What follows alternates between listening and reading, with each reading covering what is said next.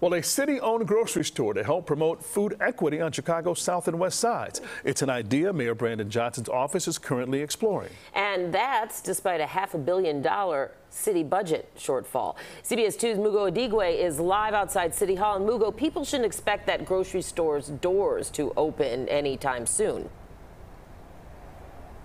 Exactly, and that's because this is really just an idea right now, one that's already being done in some small cities, but there's currently no timeline on when it could happen here in Chicago. What is clear, though, is that there is certainly a need out there. Many neighborhoods on the south and west sides just don't have quality grocery stores. In fact, several buildings are still boarded up after private chains moved out. One example is this former Aldi at 76 in Ashland in Auburn Gresham. It closed more than a year ago, which brings us to Mayor Brandon Johnson's proposal. Under that plan, the city would use economic development grants and team up with an organization to open a city-owned grocery store in one of Chicago's food deserts we are not spending any taxpayer dollars, right?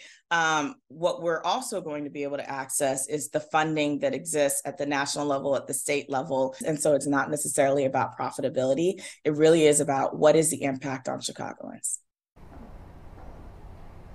But again, there is currently no timeline on when or if this plan will actually happen. We know City Council is meeting later this morning, but right now this plan is not on the agenda. But of course, we will keep you updated as we learn more. We're live outside City Hall. Mugo Odigwe, CBS 2 News.